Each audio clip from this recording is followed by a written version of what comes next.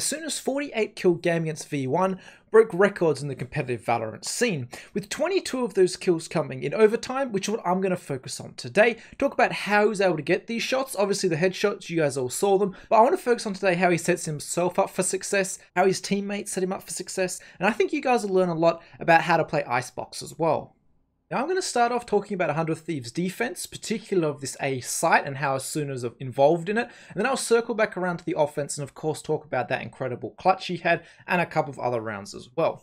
Now the first play we're going to see from 100 Thieves is one that is well thought out and has a nice couple of different layers to it, and you're going to see the first of it right here, where Ethan has obviously put the smoke down here at the end of the rope for Asuna to slide across into, at the same time that Hiko's shot his recon dart out at the beginning of the round to catch anyone trying to go aggressive in here towards this A lobby area, which Thief has done. He's been caught by the dart despite it getting destroyed. And it might look like he has a shot here, but he really doesn't because of how far back he is. You can see the angle here when I demonstrate it in the servers have to move a long way forward. And even then, with the way that Ethan Smoke is positioned, I think it would be difficult to hit this shot and get in a position to really contest this. So it's really there for informational reasons, the recon dart. You can see that as soon as starts to get spammed up, so he moves that hair onto the rope before the blind comes through from Ethan. He gets that pick onto Thief, and then as soon as able to get away, jumping over here to the left. Now, that's the second reason for this smoke that Ethan's put out, is one, it's a getaway plan for Asuna. See how wide anyone in Penny's position would have to swing out here to catch him getting away. It's basically not possible that Penny just exposing themselves to a thousand angles. So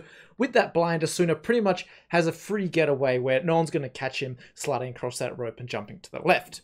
Now from here, I want to pay attention to the fights that Asuna takes. Is one, he looks for him potentially chasing him up high in a position where Penny might be, like in these positions here. And when he sees nothing and hears the owl drones, he blinds down here and to his right. Um, makes sense, obviously, he wants to get his owl drone out, and get any kind of information. A V1 resetting, are they speeding up after Asuna got that pick? Because they did make a lot of noise here trying to spam his position. So one owl drone here from Hiko and one owl drone in this position here from Effys. Now, as these owl drones are coming through, you saw that blind down to the right, which is obviously going to get anyone trying to swing around that corner. But what ends up happening is Vanity's going to kill the owl drone as as in a perfect position to trade off that potential kill. Easy kill onto him there. And then once Wippie tries to lurk out here towards the B site and Nitro finds him, the round is pretty much over.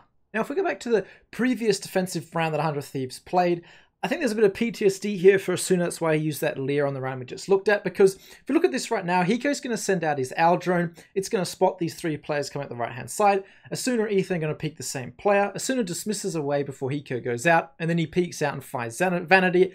But by the time he makes a good play, Thief is already up here. He collects two. And from there, the round's pretty much over. Let's talk quickly about this setup that 100 Thieves are running. It looks pretty self-explanatory in this particular area here, where you can see Ethan's in the position he's in. His job is just to look from where he is. You can see him right here on the map, or in, right in front of Asuna actually. His job just to watch this angle across here, make sure no one's coming up this right hand side. As soon as obviously got the left hand side from here, and he goes here ready to look support. He also spots towards middle from time to time. Now, the problem that goes on in this particular round is the fact that just the timing of the owl drone. We saw Asuna peek off that owl drone in the previous round, getting that kill on towards Vanity, and he wants to do the same thing here, but it kind of breaks the setup. So you can see the owl drone come out right now from Hiko, Asuna gets ready to swing, and he peeks right here. And what ends up happening is because Asuna is on this right-hand side a little bit quicker, and instead of trading off Ethan, he's essentially trading off the owl drone. So what ends up going down is they both kill Penny, and Ethan gets traded because Asuna actually doesn't technically get a kill here. You can see he gets the dismiss, but it's actually Ethan's kill. Now, ideally, you'd want this set up to work where Ethan would get the first one, so Ethan would kill Kenny right now, uh, Penny right now. Asuna would swing, be in the position he's in right now, and he would probably kill Effys, in which case you've gone two for one once Ethan gets traded, as opposed for just going one for one once Asuna goes for this dismiss. And that's basically just happened because of the timing of the owl drone, which is maybe why Asuna put that uh, blind down last round just because he, he didn't like the way this one played out. He knows that it wasn't perfect. They dismiss away. You can see here on the map as well, there's Hiko going down. He get ready to peek off the right hand side as well. So you can see how this this setup would normally go down. You get contact of Ethan. Second contact would come from Asuna swinging up here. And then the third contact would come from Hiko coming from that CT area. So you get one, two, three contact on this right hand side. And that's very difficult for V1 to deal with. Because the timing of it, uh, those initial two players only go one for two. Ethan gets traded out straight away. And Asuna has to wait all the way until his two teammates have gone down to actually get his kill right there. And once that happened, we saw Thief get into that position. So that's how that kind of went down. A little bit unlucky on the timing with the owl drone, but you could see the setup they were running and how they were really focusing on this right-hand side entrance. Now, round 32 is going to be essentially the exact opposite, but you're going to still see them playing together very well on the A side. So here, a lot of noise coming out from V1, which makes Asuna very confident over here towards A. You can see him swing up there on the rafters. He just takes that, man. It's a straight 1v1 fight. That's a confidence thing. He's very happy to take those fights, and that's another reason he's doing so well. It's not always a setup. Sometimes it can just be straight hitting a nice shot. Now, here, we're going to see them reset and how they're going to play off this. And again, this time we're going to see not Asuna, but it's actually going to be... um Ethan playing off this owl drone. So if you see here, Hiko's owl drone's going in. Pause, look at the map right now. You can see right there, Ethan's in this position ready to peek off that. So you see one of them is always playing off this, and Hiko's owl drone normally comes out once one of these A players gets contact, such as we saw when uh, Asuna went across, got spammed, got that kill early on. This time he's got a kill on towards Vanity. Both these times the owl drone is coming out from Hiko to get that information. Is the whole team here, or is it just one guy that was here kind of lurking on his own? So he's done that multiple times now, um, has Hiko. So Ethan's going to take that peek off there, doesn't see anything. Hiko gets up and he ends up spotting out the Viper there. Now look at Ethan reposition on the map right now. He repositions to here, behind this area, and then he's going to just chill here. He's going to put a smoke here towards the entrance um, to block off Wippie and Thief, and we're going to have a little bit of time where we're just chilling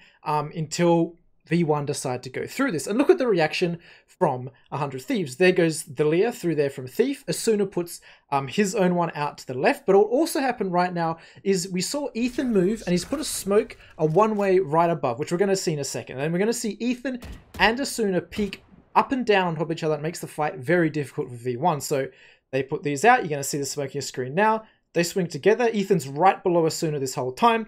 Penny gets the kill. Ethan should have probably got that one there uh, on towards Thief, but we're still in a 3v2, and you can see how those A, a players were playing together. Hiko also put his um, Sova dart out there to the left at the same time that we saw Asuna using his blinds. So you can really see 100 Thieves, they always make sure, all right, we're going to attack the right-hand side, we're going to attack the left-hand side, we're going to fight it together. It's not, oh, mate, you got left, I got right, good luck. It's always playing together and making sure they're demolishing this attack.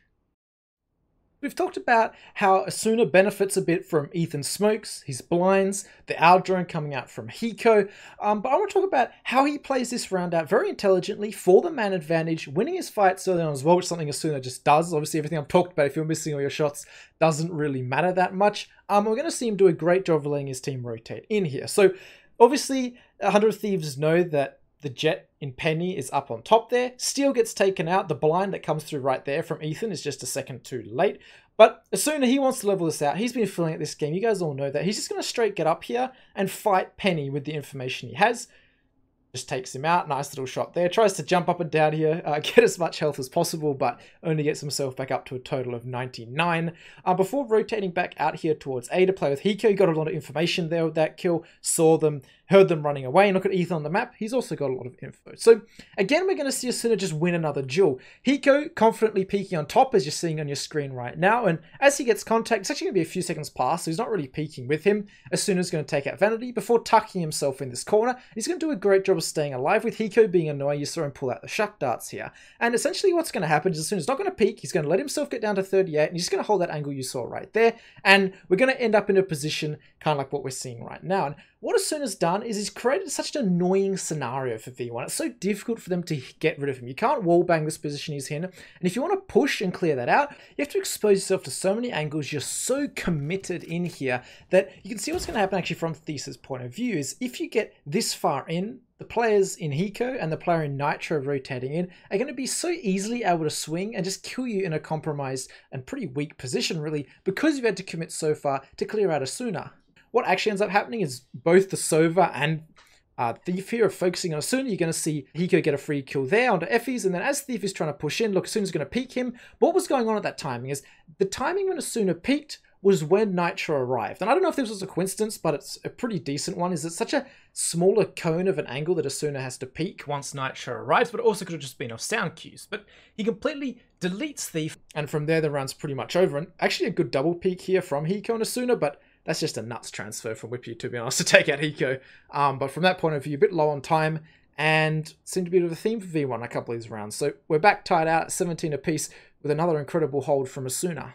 So some great defensive rounds from Asuna, playing off his teammates' utility, the smokes and the flashes from Ethan, the owl drone from Hiko, playing well for time for his team to rotate. And we're going to move on to the offensive side and talk about what he did there as this duelist of Reyna. Now, first round here is going to be a B split from 100 Thieves. They're going to use the Reyna Leers to get through here, basically just as flashes, to cross these two choke points and get to a position where they can really pincer this B bomb site. And we're going to see Asuna get his first kill right there onto Penny. So from this situation here, now Thief is in a really sticky situation because he's basically stuck here. He's got Asuna and Steel on this side of him, and he's got Nitro on this side of him. And he has to basically just try and commit to a fight and hope he kills the people that peek him first. He's going to commit to Nitro here and actually get the kill before we see Asuna do a really good job of just committing to take him out. So he does take out Nitro, props to him, before, as all these other kills go down, you might want to follow um, Asuna on the minimap. You don't have to look at the action going down. Asuna is going to eventually find that kill there onto Thief, and he's going to be very, very quick in this 1v2 clutch. And this is something a lot of people suffer from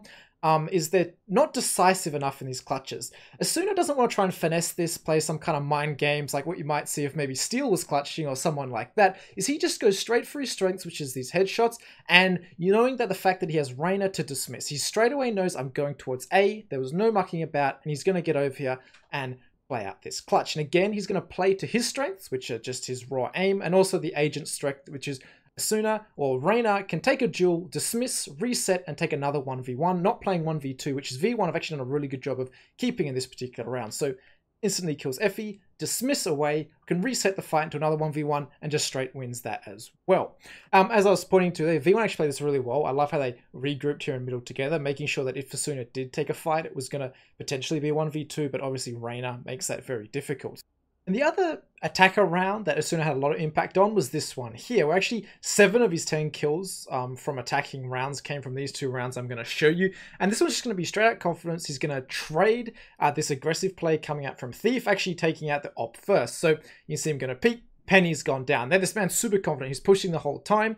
He takes out Thief. And then we're going to see him jump up here and get really aggressive even in the man advantage situation. Now, one reason that he might be doing this is you can see on the map right here, there is actually dart here, Sova dart from Hiko, which has just been sitting here the entire time. We saw Vanity get lit up by it a couple of times. So maybe he's just trying to capitalize off that, get really aggressive, really confident in the angles he's going to be taking because probably not necessarily the 4v3, but he's going to do it anyway. And you can see he's going to, he's going to catch Vanity trying to come through and take that out. Dismisses, uses his ult, but eventually does get taken out by Wippie, but a free trade there from Steel. And from that point, they've got the advantage going on the round. And this man's going to carry this through to get a triple kill to close out the final round. He starts off fighting aggressively, albeit with Ethan's smoke, before his last two fights are just straight off feeling it, it seems like. He gets a bit of information, the fights he can take, and he just locks them out, takes matters into his own hands, and closes V1 out and snags the first round for 100 Thieves. But with that being said, guys, if you enjoy this kind of content, make sure to like and subscribe,